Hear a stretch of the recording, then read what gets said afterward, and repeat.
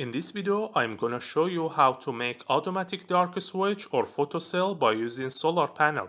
It can switch on your lamps at the night and switch them off at the daytime automatically.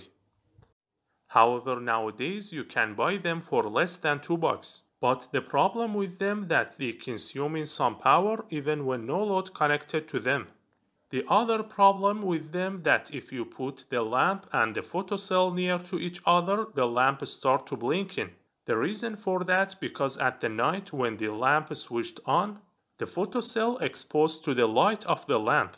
So the photocell feels that it's daytime and switched off the lamp. And this process repeating again and again. So the lamp keep flashing. To make a dark switch or photocell without these two problems, you just need three components. Solar panel, diode, and relay. The lamp connected to the mains voltage through normally closed switch of the relay. At the daytime, the solar panel produce some voltage and activate the relay. So the relay contactor switched off the lamp.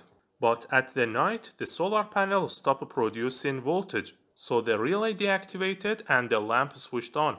The reverse diode here is just a protection diode to protect the solar panel from high voltage spike at the moment that the relay switched off. My solar panel can produce 6 volt, so I have to use 5 volt relay. I have two types of them. The yellow one can handle 3 amps of load and the blue one can handle 10 amps. I choose the smaller one because its coil drawing less current so the solar panel can run it even at the cloudy days. Then I solder them together.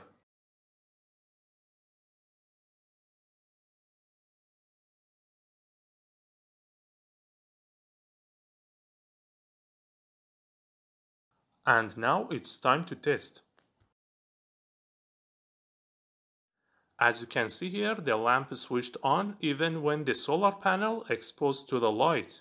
The reason for that because the solar panel cannot produce any power under artificial light. That's good because that means the load which is a lamp cannot affect in the working of this photocell.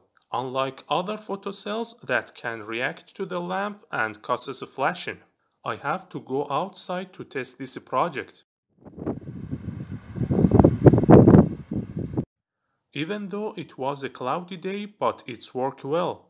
Please like this video and subscribe to my channel. Thanks for watching.